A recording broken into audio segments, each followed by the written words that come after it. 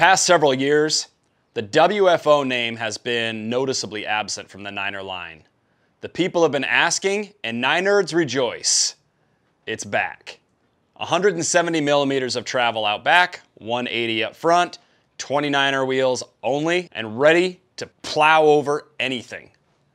The entire WFO line comes with Niner's RDO carbon frame as the starting point. They all feature Fox suspension. Now, starting with the two-star build, which comes in at 4,800 bucks, you're gonna get Fox performance suspension and an SX drivetrain. At the very high end, you're gonna get the X01 Eagle AXS build for 10,100. Obviously, that's going to have Fox factory suspension. Our test model came in with Fox factory suspension, an XT drivetrain, which prices out at $69.50. Geometry on the WFO is, I would say, contemporary. It's not anything crazy, but it's not small or ridiculous by any means. Reach is 450 millimeters on our size medium test bike, 480 if you're a large. A 64 degree head angle in the low position, which is the position that the bike comes in. We have a 77 degree seat angle and all sizes run a 433 millimeter chainstay. The WFO also uses a flip chip, which will adjust your head and seat angle by 0.7 degrees.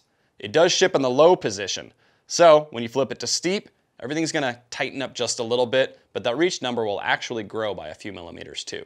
So the perceived weight on our WFO was far below the actual weight. 33.4 pounds with pedals. But honestly, this bike feels much lighter on trail than the numbers would suggest. An overview of the WFO frame highlights a couple of pretty cool things. Starting at the back, we have some nice rubber chainstay protection. Got ridges on here that help keep this thing nice and quiet. What's also nice, and we're seeing this more and more on bikes, is the shuttle guard on the down tube. There's little details, like the cable ports up front. They're subtle, smooth, and elegant. We really like that.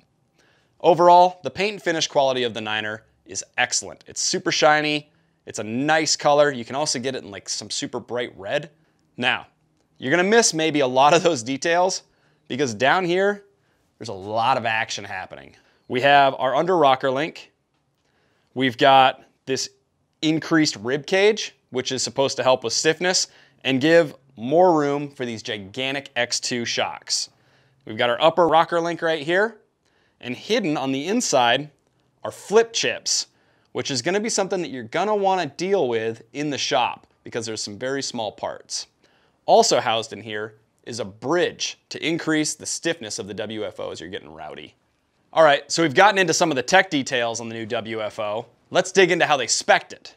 200 millimeter rotors, front and back. Our test bike came with Shimano XT brakes. We have an XT drivetrain. We've got i9 wheels on our test bike but these are not spec. These are what Niner had to send just because of availability issues, hashtag 2021. The bike will actually come with DT Swiss wheels.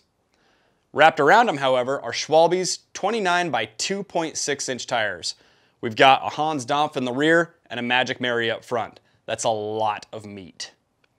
Moving up, we have a Fox Factory X2 rear shock. Leading the charge is our 180 millimeter travel Fox Factory 38. Holy Toledo, it's a lot of fork, which is good because this is a lot of bike. Because we did share this bike between two different testers, the air pressure on our Fox 38 was different between the two of us.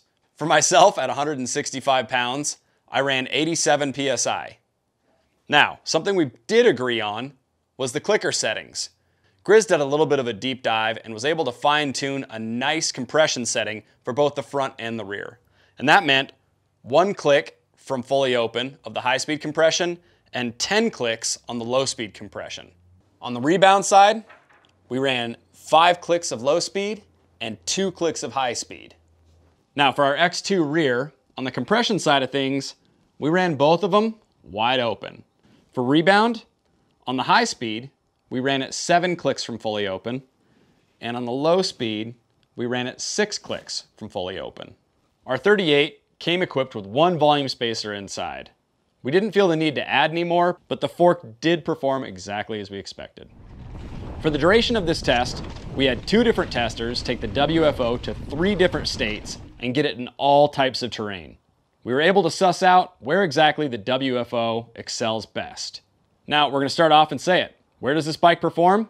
It's in the name. WFO means wide, flat, open. This bike wants to haul the mail. Doesn't matter. It wants to go as fast as possible down the steepest, chunkiest bits galore. Now, on the flat, rolling terrain, it is going to keep its own. We were able to keep hmm. pace with some bikes that were much lighter as they cruised along some of the mellower grades of trail.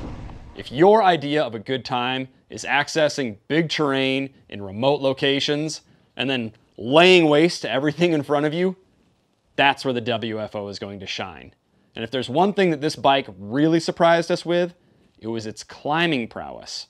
We couldn't believe how this thing got up the grades. It didn't matter if it was loose, it didn't matter if it was chunky, ledgy, technical, difficult, or just a good old fashioned spin. The WFO scooted up everything. And not just for a big 170 29er. It got up the hill well for any kind of mountain bike. We couldn't believe it. Now, when it comes to the really, really nasty bits, this is what we like best about this bike. A bike this large usually doesn't have the word play in its designation. If you're reaching for a bike like this, you're not thinking to yourself, oh, bro, I'm gonna go jib and have some good times. No, when you reach a bike like this, you're going out there to lay waste to your buddies on all the mountainside. All right? This is what we would call a plow bike, but it's not sluggish or kind of a pig in any way. What we're saying is that when it comes to square edge hits and really big stuff, you can kind of just lay back and let the WFO do its thing. If you've got natural big fallaway booters or really steep sections, you're gonna cackle with delight as those things just disappear underneath you. You can lean back and just kind of let the G's take you over, or you can push in and just let it eat. As we say here on Vital, what's the bottom line and who is this bike for? Well, if when you reach for your bike, you've got big things in mind with big days, the WFO is here for you. This bike is best suited for high speeds in wide open country, as any long travel 29er should be. Now, couple that with the fact that we were absolutely floored with its climbing prowess, and you have a mean machine on your hands. If you want to get into the deep dive, learn more about the technical details, and read the full review, head over to vitalmtb.com. Don't forget to like and subscribe if you want more content just like this. And until next time, go out and ride your bike.